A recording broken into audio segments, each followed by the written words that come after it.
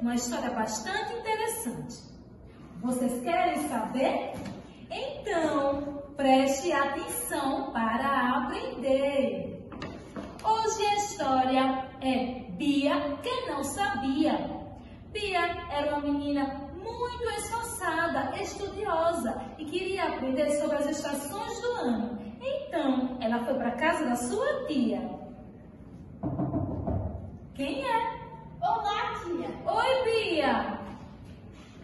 Nossa, o que é isso? Uma O que caixa. tem dentro dela? Você quer saber? Então é só pegar para ver. Que desenho mais lindo. É a estação da primavera. Muitas flores, borboletas e muita brincadeira.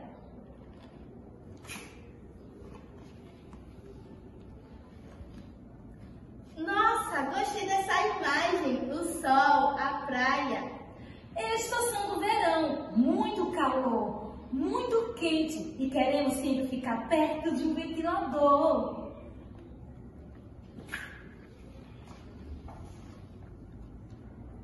Que legal essa imagem. É a estação do outono. Calmo, nem frio. E a estação do outono. Calmo, nem frio e nem quente. Bastante agradável.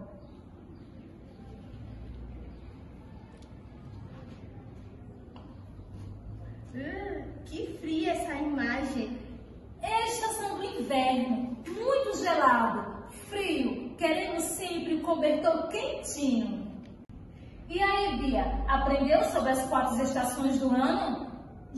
Aprendi sim, tia, sobre a primavera, o verão, o outono e o inverno. São as estações do ano. Agora eu já sei.